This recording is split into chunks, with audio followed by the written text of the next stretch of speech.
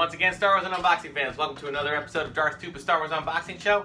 I'm your host, Darth Tuba, and today we have the Black Series Darth Vader helmet. Real excited about this one. Okay, it is a basically a replica of the helmet that was used when taking off um, uh, Darth Vader's body when he became Anakin Skywalker at the end of Return of the Jedi. So excited to get, a get started. It is a damaged box. Uh, I will say that when I am unboxing, I certainly enjoy unboxing damaged boxes better. It feels like I'm not worrying about any value or anything of that nature. So let's get right to it, because there is some battery operation we have to do. Some of these battery operated uh, Black Series helmets I'm not a big fan of, but we'll see how this one does. All right, we have our instruction booklet. We have a little protector here. Ooh. Okay, now, this, I will say, the Vader helmet, okay, is a lot bigger in real life than it is often, let me just kind of get everything, than it, than, you, than it seems. Okay, the Vader helmet goes a lot bigger.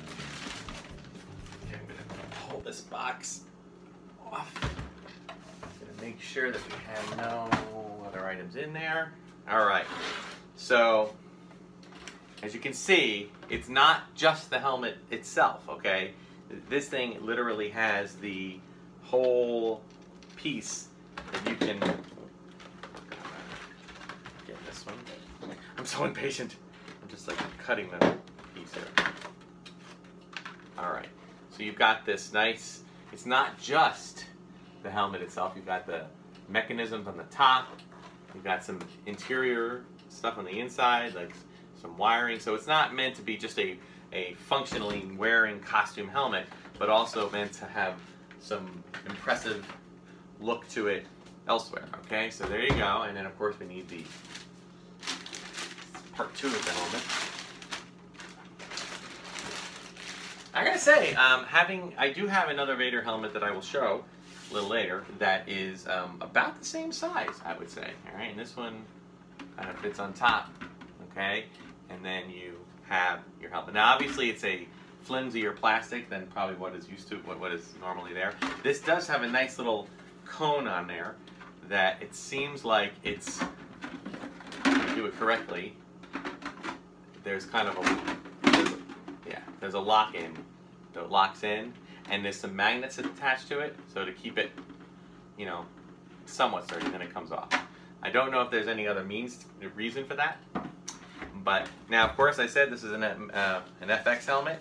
It does, in fact, have a uh, it's, you know a battery pack, and therefore has some battery-operated parts to it. So what I'm going to do right now, I think I'm going to take this little guy and move him over here temporarily. Yeah, so this looks like it has like a little. This neck part comes out makes it a lot easier for one to uh, do. It has a nice little elastic strap. It's just amazing when you think back to how items that used to be have to be made by fans. Let's see if I can get a slightly bigger one of these. Yeah, there we go.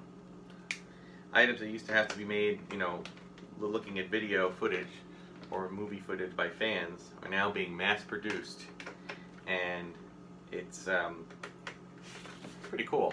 I don't know how the costumers feel about it. I'm sure that um, there's a lot of different costuming organizations, the most famous being the 501st, but which technically I'm a member, although um, I will say, I, I, should say technically I was a member. I think I let my membership lapse in the sense that um, I have not kind of kept up with it.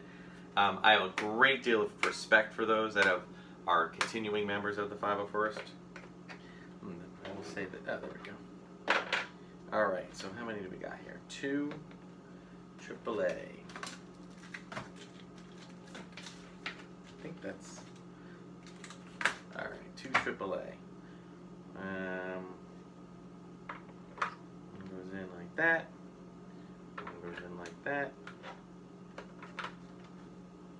Uh, yeah, the 501st is not just a group that does costuming for just for fun. They actually go out and do charity events. They visit hospitals. Truly a, an amazing group. And um, I was a member not with a, you know, they're most known, known, known for their stormtrooper outfits, but you can be any kind of Imperial. So I had an Imperial officer uniform that I pieced together, and I, you know, signed up as that, and it was fun. It was good. And let me see here. Course, all the time, I am almost. I will tell you that I am. Support. Yeah, I can always be counted on putting it in the wrong way. Because that's just who I am.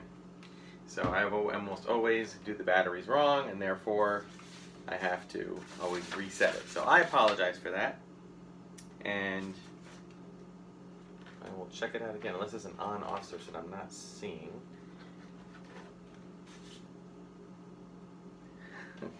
Funny thing is, it's in like seven different languages. So, um, assembly activation, attach collar.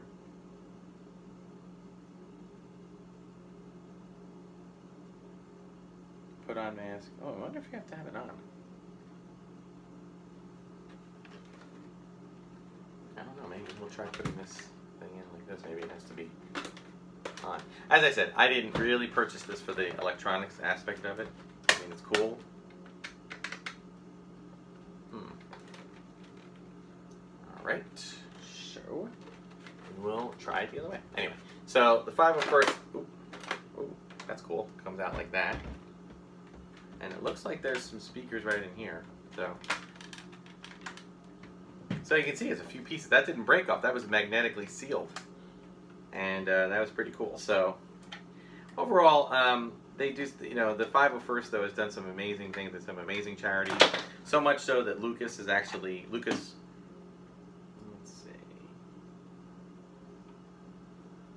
is supposed to be reversed. Let's see how that works. Um, so that Lucasfilm has actually hired, or not hired, but you know, invited them to take part in events, official events. There we go. Oh, that's actually the the damage Vader. Ooh, that's creepy. Okay, so... Oh boy, this is going to be interesting. I'm going to have to try to put this on.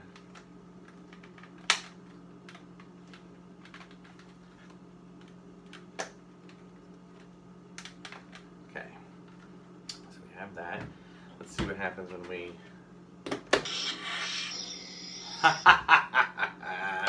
Alright, that's cool. And let's see if we have another thing.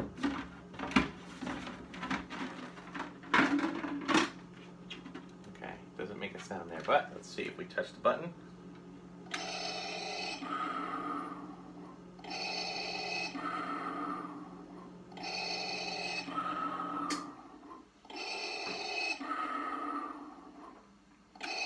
Okay, so it's basically just breathing. Let's see what happens if we take the head off. Nothing, okay.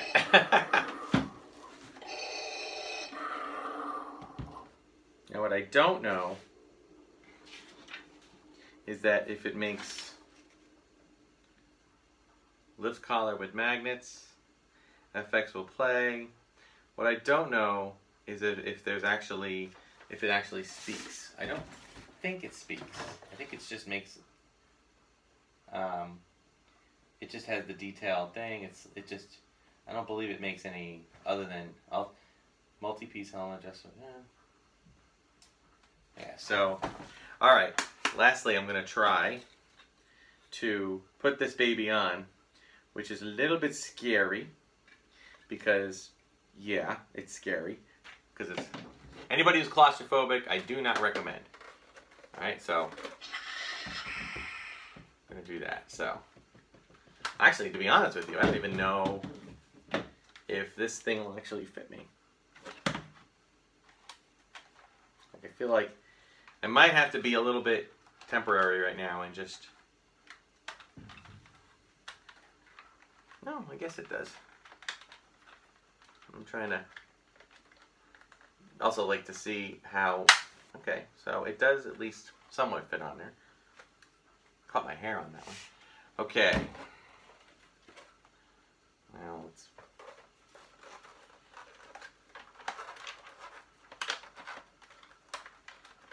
No, no. Yeah, don't know. It's hard to it's hard to maneuver here. yeah, not not an easy thing to do. I will say it's kind of help. It's pretty comfortable in there, but it's not an easy thing to um, set up. I think when you do this, you have to kind of bring the base of it up.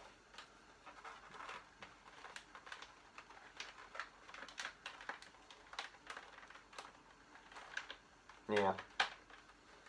Yeah, I'm gonna say that it's not the easiest thing to connect. So what I might suggest might be a better way, I don't know if this will work. Come on there, baby. It might be better to try to do it this way. Like actually put the helmet on. Yeah, like that. And then you can then you can try to hook it in this way maybe. But again, it's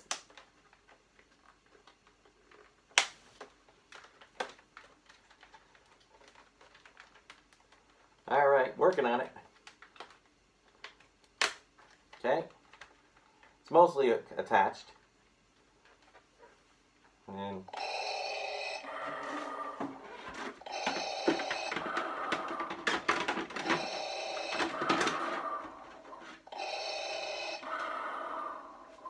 There it is.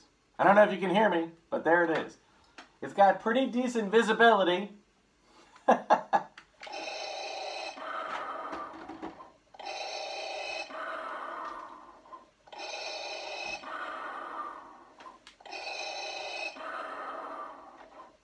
okay. Gonna take that off. And let's do this. Let's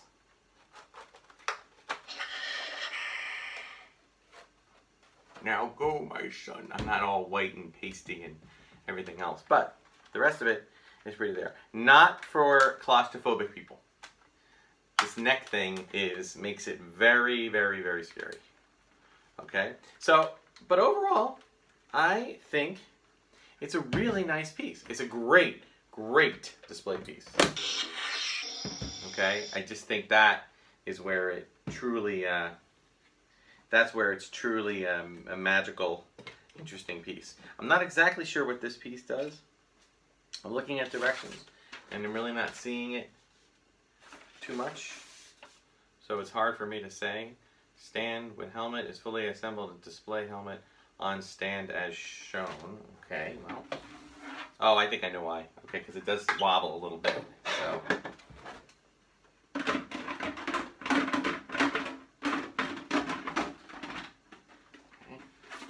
display on stand as shown. I think maybe this thing kind of works as a